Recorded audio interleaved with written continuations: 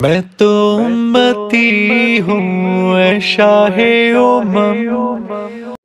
मौलाना यूसुफ साहब रहमतुल्लाह अलैह कहा करते थे, अपनी नमाज़ में पाँच चीज़ें लाओ। कितनी चीज़ें? पाँच चीज़ें।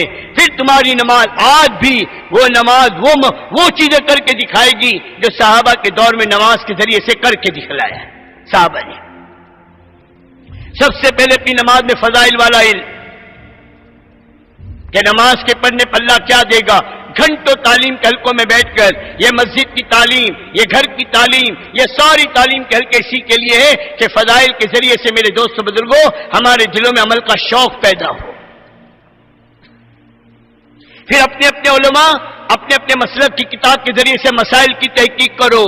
फजाइल के बगैर नमाज़ हो जाएगी, मसाइल के बगैर नमाज़ नहीं होगी। नमाज़ सीखो, नमाज़ का ज़ाहिर, नमाज़ का बातिन, नमाज़ का खुशू, नमाज़ का खुजू इन सबको मालूम करो और अपनी नमाज़ के बनाने की मेहनत करो। चार महीने लगा कर आने वाले अपने दिल पर तक सोचो, नमाज़ के वाजिबात, नमाज़ के मुफसीदात, नमाज़ के मकरूहात, नमाज़ की सुन्नतें, नमाज़ के वाजिबात और नमाज़ के फ़र्ज़ को कितना जानते हैं। कल मौलाना इब्राहिम साहब ने बताया था कि नमाज़ में कितनी सुन्नत कि इक्यावन सुन्नतें बताई मौलाना अबरार साहब अलैह ने। अब उसमें कितनी सुन्नतें का इल्म हमको है? नमाज़ को सुन्नतों के मुताबिक।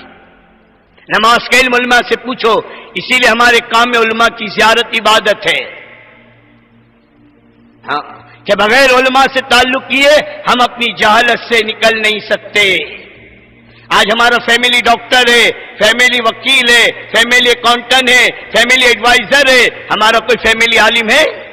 कि घर का, कारोबार का, खुशी का, गमी का, मौत का मेरे दोस्त बुज़ुर्गों हर अमल हर अमल हर अमल हम अपने मौली साहब से पूछे बगैर नहीं करते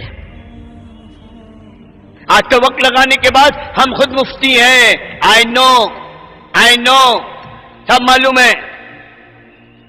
बल्कि अब तो काम करने वालों में उलमा का हल्का बना रहा है।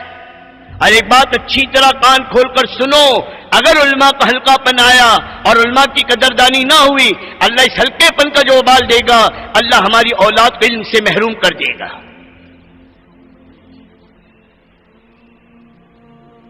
मामूली ना समझो, ये वारिसुल अंबिया है। तो इल्म के ज़रिए से मेरे दोस्त को अपनी नमाजों को बनाने की मेहनत। फिर तीसरी चीज़ अपनी नमाज़ में, अल्लाह का ध्यान लाओ, अल्लाह का ध्यान।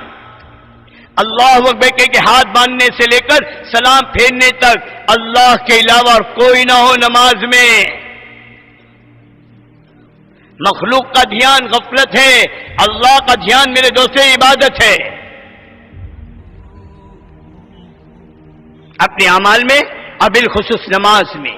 और ध्यान के दो ही दर्जे बताए मेरे नबी ने, ऐसी नमाज़ पढ़ो कि तुम अल्लाह को देख रहे हो।